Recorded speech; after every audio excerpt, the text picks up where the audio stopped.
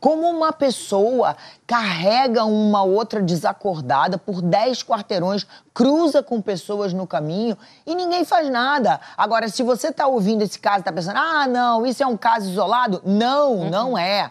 Uma mulher é violentada a cada quatro minutos no nosso país. Isso é muito mais comum do que a gente pensa, infelizmente, e se repete, se repete, se repete. E Leilane e Dani, sabe o que me assusta mais? Além da imagem em si, porque ela assim, ela dá ânsia na gente, é algo assim que é, ninguém consegue passar por essa imagem sem se sentir muito mal, principalmente mulher vendo uma imagem de uma outra mulher nessa situação.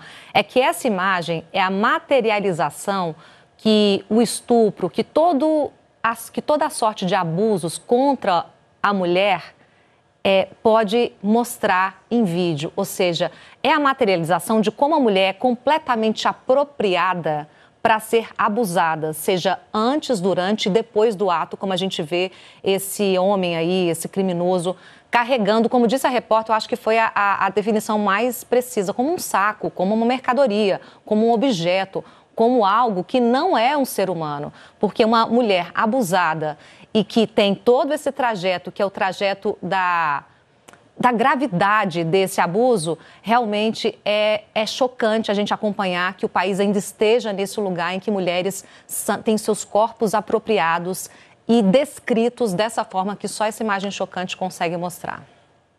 Gente, eu acho que a imagem fala por si, acho que minhas amigas falaram tudo o que tem para dizer. Eu espero punição brutal para esse homem. Não sei. Não sei se dá para chamar assim. Mas de fato, né? Eu só queria ressaltar que ele ficou quatro horas, quase quatro horas, com ela, desacordada. Meninas, quatro horas. Para a gente seguir e pensar, botar uma minhoquinha aqui para todo mundo ficar pensando: o que está acontecendo com as pessoas? Como é que ninguém é, se movimenta para ajudar alguém? Como é que ninguém se movimenta com uma cena estranha e todo mundo olha e finge que não está vendo?